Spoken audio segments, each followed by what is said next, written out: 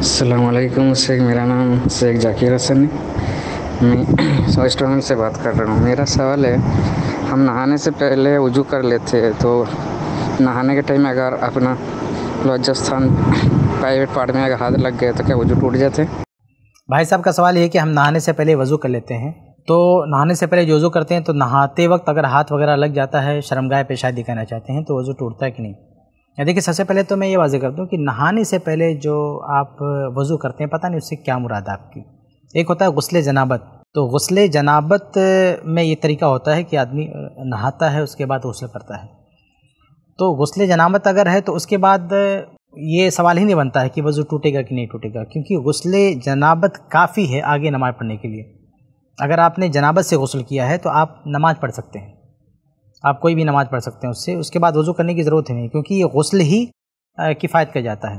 यानी उसके वज़ू के लिए काफ़ी हो जाता है, आपको वज़ू करने की ज़रूरत नहीं है। वज़ू ये हद से असगर से पाक होने के लिए और गसल जो है, गसल जनाबत ये हद से अकबर के लिए। तो जब हद से अकबर से आदमी पाकि इख्तियार कर लिया तो हद से असगर जो है, वो ऑटोमेटिक उसमें शामिल है।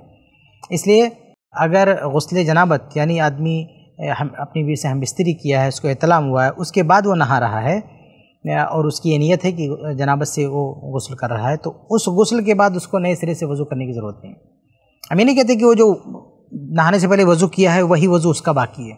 नहीं, बल्कि वो वज़ू भी ना करे, ऐसे ही नहा ले लेकिन जो गसल जनाबत की जो शराइत हैं, उसको पूरा करे मतलब मुँह में कुल्ली करे, नाक में पानी डाले, पूरे जिसम पे जो है पानी बहाए, उसकी नीयत हो तो इतना कर लेने से ही वो आगे नमाज़ पढ़ सकता है, चाहे उससे पहले उसने वज़ू ही ना किया हो। क्योंकि गौसले जनाबत से ये मुकम्मल पाकि उसको मिल जाती है तो जो बड़ी पाकि हासिल हो गई तो छोटी पाकि उसमें शामिल है। तो अगर गौसल जनाबत किया है तो फिर ये सवाल करने की ज़रूरत ही नहीं कि वज़ू टूटता है कि नहीं टूटता है, क्योंकि उसी गसल से वो आगे नमाज़ पढ़ सकता है, जब तक कि दोबारा उसका वज़ू नहीं टूटता है।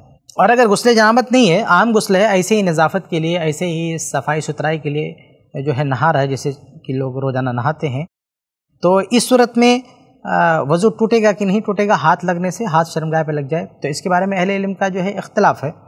इख्तलाफ ये है कि क्या ज़कर को हाथ लगाना शर्मगाह को हाथ लगाना नाकज़ वज़ू है कि नहीं हो तो बहुत सारे उलमा कहते हैं वज़ू टूट जाएगा, बाद उलमा कहते हैं वज़ू नहीं टूटेगा। बाद उलमा शहावत का फ़र्क लगाते हैं, जैसे शेख अबन समीर रहमल्ला, और यही बात राज मालूम होती है कि अगर शहावत के साथ, किसी ने शहावत के साथ अगर छुआ है तो उसका वज़ू टूट जाएगा और अगर शावत के साथ ऐसे ही हाथ लग गया तो उसका वज़ू नहीं टूटेगा। तो अगर उसने शावत के साथ हाथ नहीं लगाया है, नहाते हुए ऐसे हाथ लग गया तो कोई हरज की बात नहीं, उसका वज़ू नहीं टूटेगा।